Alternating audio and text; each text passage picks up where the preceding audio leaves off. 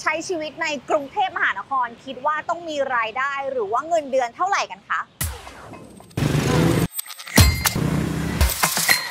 สี่หมื่นขึ้นนะครับ เพราะว่าคนส่วนใหญ่เดี๋ยวนี้ก็ออกมาอยู่คนเดียวอะไรเงี้ยครับก็มีทั้งแบบพวกค่าขอค่าน้ำค่าไฟค่ารถอะไรพวกนี้ก็ ค่าใช้จ่ายกับอะไรเยอะที่สุด ก็น่าจะเป็นเรื่องของกินครับ ก็ต้องหมื่นแปดถึงสองหมื่นอัพอะครับ เพราะว่าค่าห้อง 5,000 อัพอยู่แล้วค่าห้องค่าไฟค่าน้ำเพื่อเหตุฉุกเฉินบาดเจ็บอะไรอย่างนี้ก็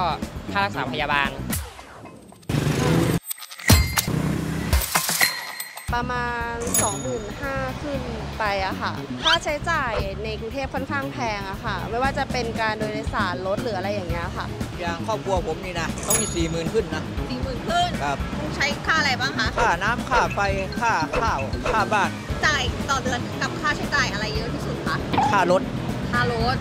แล้วสี่หมื่นขึ้นนี่คือมีเงินเก็บแล้วใช่ไหม หรือว่า ไม่มีครับไม่มีกินไปวันเดือนละหมื่นแปดครับ 8,000 ก็ใช้จ่ายส่วนตัว